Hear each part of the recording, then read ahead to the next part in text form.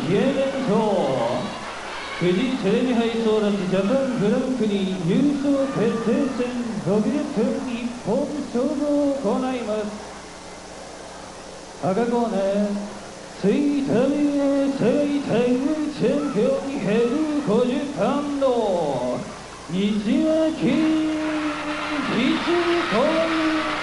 さあこれからはバイオメスアスカの後を追って大きく成長していかなくてはいけません多分それを待望しております西脇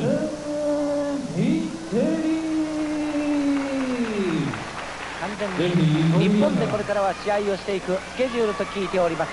メドウサミステリーであります。そういった意味でもこのフジテレビ会争奪ジャパングランプリ。優勝という大きなあのタイトルが欲しいところですね。メドウサは。そうですね、はいとにかくこれをねこれがまあ今ナンバーワンですからね今勝てばね。そうなんですね。え1964年4月29日生まれというメドウサ・ミステリーであります。日本のリングで大きなタイトルを取ることができるかどうか。日本の全日本女子プロレスの顔になることができるかどうか。さあ先制攻撃は西脇光子か。じゃがそれにしてもあのバイオネス・アスカの引退試合。ねバイオネス・アスカとのリクエストでジャガーが3年間ぶりリングに立って私たちも楽しませてもらいましたですけどもご苦労様でございました。あどうもお疲れ様でした。どうですかいやーやっぱ大きく感じますねリングがね。そうですか久しぶりに乗るとね、何か頭を打っちゃったんですって？そうなんですよ。もうやっぱりだいぶ弱くなってますからね、はい。あのー、多分明日はまあ力抜いてやってくれたと思うんですけどね、はいはい。あのーちょっと頭打っちゃったようで半分ぐらいしか覚えてないんですよ、しかし本当にもうジャガーのことをね、ええ。ー、師匠師匠と、えー、慕い続けてきたバイオネス・アスカにとってはやはり嬉しい最後の引退試合ということになったんでしょうね。えーそうなってくれたらよかったですね、またジャガーも完全としてねよく受けてくれました。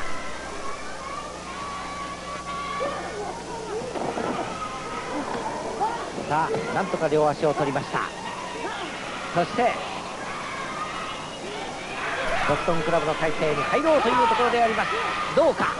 ああ片足外れました。しかし一方の足をしっかりと持っております。じりじりっとロープの方に逃れております。ミドウス・ミッシリロープレイクを命じました。ボブ矢沢であります。また両足を取りました。なんとか真ん中に来たぞというところ。さあキックを入れるキックを入れる。場外に落としました。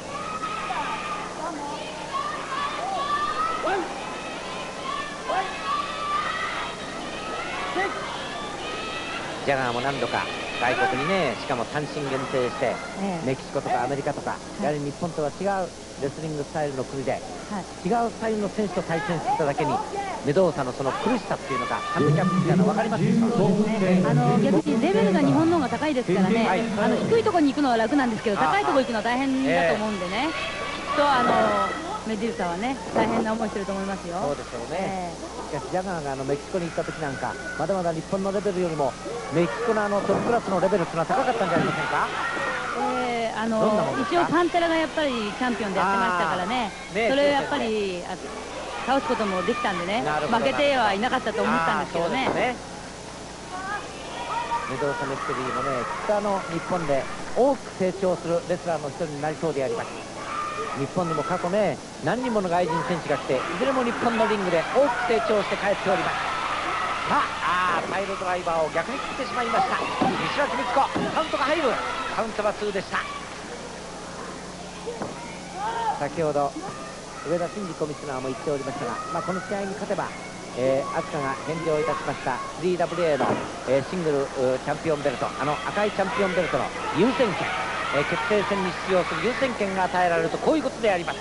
さあどうでしょう。このまま後ろに強烈ですがおっと前に突きつけました。さあどうでしょう。カウントが入ります。ああしかしカウントはカウントは2であります。さあおーっと今度は逆に回転にが風を食うと危ない。西脇光子さあロープに振られます。今度はミステリーがいくか後ろに回った。さあこのままどうか決められるか。体勢が崩れてしまいました。あーっとついている。懸命にしかしよけました。さあ両選手ともちょっと疲れが見えてまいりました。リング上であります。一本勝負です。おーっとミステリーこれはどうか。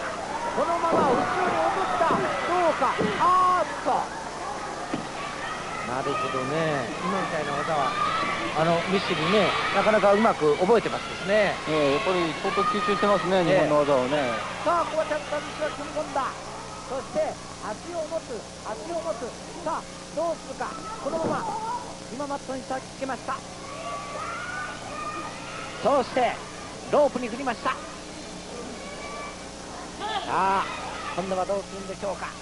コーナーポストに据えるか。コーナーポストに据えに行きます。問題はどう決めるか。タイミングが難しいところ。さあナダレ式のブレンバスターに入れるか？入った。これはうまかった。大技が炸裂カウントが入るボブヤドは3つ入った。やりましたナダレ式のブレンバスター大技を炸裂させました。これが見事に決まりました。西脇美子そしてバイオネスアスカの期待を飾るバイオネスアスカの期待に応える大技炸裂でありますいやーあれは勇気のいる大技でしてね私たちが見ていてもハラハラするんですけども安倍さん、よくやりましたですね。そうですね、最後の技はいい角度で下まで落ちてきましたからね。そうでしたね。え見事なナダレ式のブレンバスター。ピシャッと決まりました。後楽園コールであります。やきもつきながら心配しながら見ておりましたファンが心からスーツの拍手を送っております